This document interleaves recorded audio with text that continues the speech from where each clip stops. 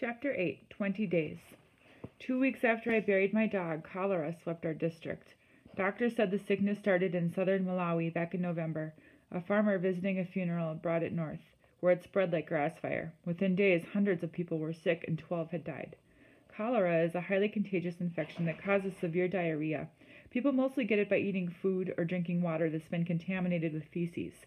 Across Africa, it's an unfortunate companion of every rainy season. Many villages have poorly built latrines that flood with the rains and pollute the wells and streams where people drink. Blowflies also spread the bacteria after crawling out of toilets and landing on food. The diarrhea that results is clear and milky and quickly leads to dehydration.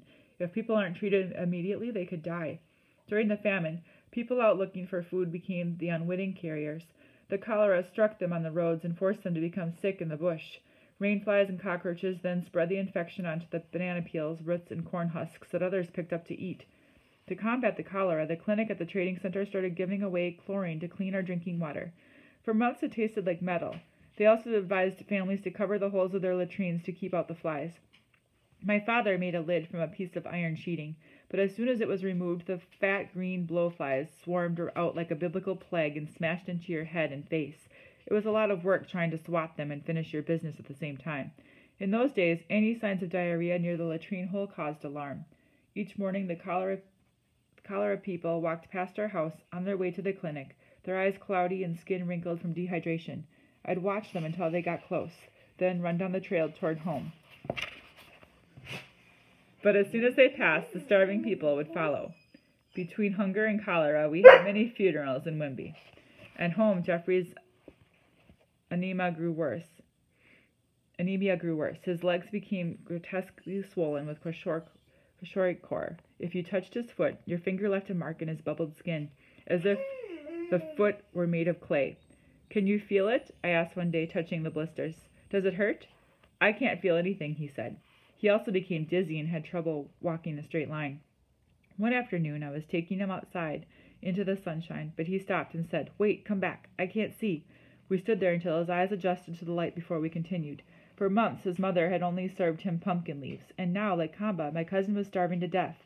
With little else to do, my mother took half of our flour for the day and gave it to Geoffrey's mother. There's enough here for porridge, she told her. It isn't much, but I can't watch my own family suffer. We were all losing weight, especially me. The bones were now showing in my chest and shoulders. And the rope belt that I'd made for my pants no longer worked. Now I just pinched two belt loops together and tied them off the stick, twisting more as I got thinner. My arms and legs looked like blue gum poles and ached all the time. I had trouble squeezing my hand into a fist. One afternoon I was pulling weeds in the field and my heart started racing so fast. I lost my breath and nearly fainted. What's happening with me? I thought, terrified. I bent down slowly until my knees touched the dirt, then stayed there until my pulse returned to normal and I could breathe again. That same night, I sat in my room with, with the, the lantern while the hunger played games with my mind. If I sat still enough, the walls began to spin in slow circles, like a merry-go-round. I followed a centipede up the wall for what seemed like hours. When a mayfly flew close to the lantern, I grabbed it by the wings and asked, How are you still alive? What are you eating? One thing was certain no magic could save us now. Starving was a cruel kind of science. Even my father, once a giant man, shriveled like a raisin. Sharp bones now replaced brawny muscle. His teeth seemed bigger, his hair thinner, and for once I noticed the scars on his skin. One afternoon he reported having trouble seeing across the courtyard. The hunger was robbing his vision, just as it had Geoffrey's.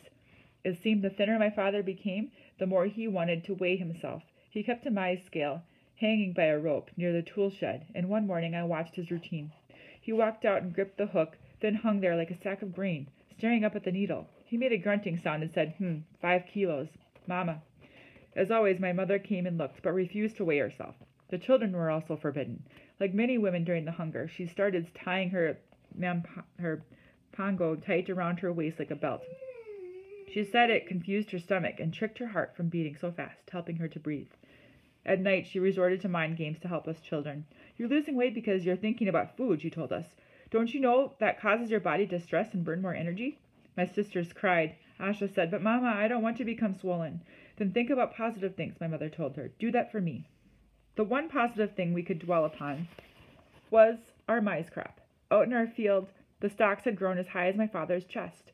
The first ears had begun to form, revealing traces of red silk on their heads, and the leaves and stalks were fading from deep green to yellow.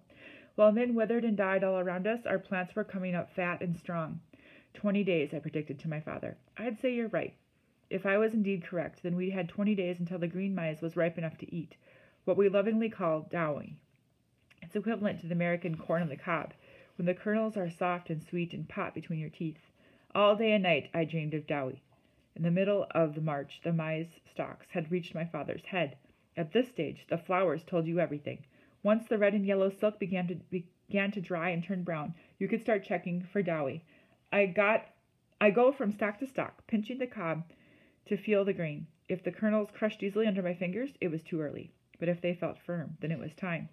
Every morning, for a week, Geoffrey and I walked up and down the rows, pointing out ones that were nearly done. Then finally I spotted a cob that appeared ripe and gave it a squeeze. It was firm. This one's ready, I said. Yeah, said Geoffrey, pointing to another. And so is this one, and this one, and this one. Our long awaited day has finally arrived. Let's eat. Using the last of our energy, we ran through the rows, pulling the ripe dowe and cradling them in our arms. Soon I had fifteen ears, and Geoffrey had the same. We peeled back the first layer of husks and tied them all together, then draped the chain across our shoulders. The sight of Geoffrey and me running through the courtyard with necklaces of dowe nearly caused a riot. Is it ready? Asha asked, her eyes wide and excited. Ready. The dowe is ready. In the kitchen, I stoked the coals of my mother's fire until they burned red. Soon my sisters were crowded inside the door, fighting for space. Relax, I shouted. There's plenty of dowe for everyone. I placed several cobs directly on the coals, then flipped them until the peels were crisp and blackened. I burned my fingers pulling one off, then stripped the steaming husks and began to eat. The kernels were meaty and warm and filled with the essence of God. I chewed long and slow. Each time I swallowed, I was returning something that had gone missing long ago. Looking up, I saw my parents in the doorway. I don't think this dowe is ready, my father said, snatching one off the fire. He pulled off the silk and took his first bite. Within seconds, the blood of life seemed to rush back into his face. He knew he would live. It's ready, he said, and smiled. That afternoon we must have eaten thirty ears of maize. As if heaven opened up, the first pumpkins in our field were also ready. My mother boiled them, seeds and all, then served up baskets of the steaming meat. My God, to have a stomach filled with warm food was one of the greatest pleasures in life. Geoffrey and his mother started coming over and enjoying meals of pumpkin and dowe with us. Soon the swelling in Geoffrey's legs went away, and he was smiling like his old self. For Geoffrey and me, March was like one big celebration. Each morning before work, we made a fire in the fields and ate a big breakfast of roasted maize and pumpkins. I remembered a parable that Jesus told the disciples, the one about the sower of seeds. The seeds planted along the road get stepped on and damaged. Those planted in rocky soil can't take root, and the ones planted in the thorns get tangled in the barbs but the seeds planted on fertile soil live and prosper. Mr. Geoffrey, we're like those seeds planted on fertile soil, not on the roadside stepped on by everyone walking past. No, no, not us. That's right. We lived. We survived.